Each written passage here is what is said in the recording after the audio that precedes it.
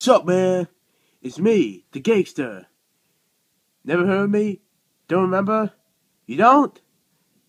That's okay. Anyways, we got updates. We have After Effects.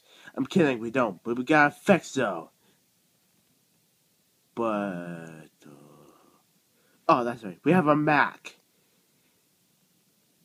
You know, so we can enhance our movies. I mean, the videos that we make to make it look awesome and funny and all that crap. Alright. Now that you know the updates, I'll be, uh.